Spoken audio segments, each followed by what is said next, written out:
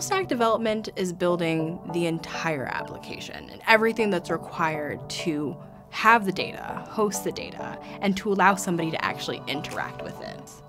That is full stack development, and it is behind every website and every mobile app you have ever used. What I love most about my job is to be able to provide a solution that I'm proud of. It's the way that I see my project coming together and it being very efficient, scalable. For me, designing a solution is an art. When you're getting ready for your job search, you want to make sure that your LinkedIn is updated. So make sure it really lists your skills and that other people have verified those whichever technology you find yourself most confident about add them to your resume. Test them out. Do a, a, round of interview with somebody you're comfortable with.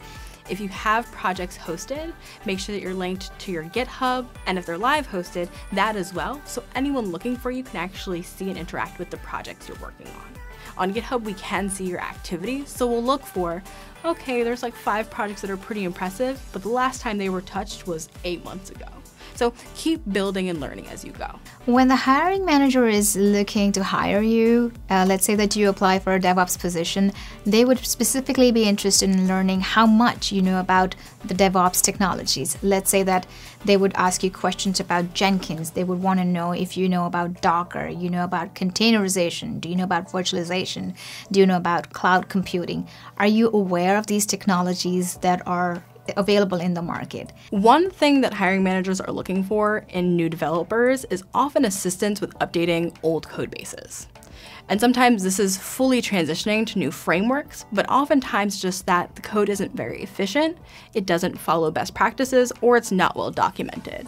They would also be expected to be able to manage their time, and they will be expected to be able to communicate with other teams and learn team dynamics. Whether you're working with your internal team or building APIs that are facing externally, you will have to know how to build an API and make sure that it's well documented and usable for other developers. Things like authentication, uh, concepts like testing, uh, concepts like logging.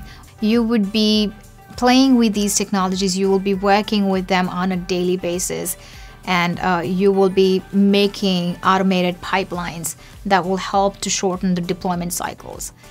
You also really want to keep in mind that the client experience is always paramount. You don't want their interface to be laggy, it should be intuitive, it should be clean, and it should be pretty. If you're not design inclined like myself, having a designer is often really nice for this, but you implement that design.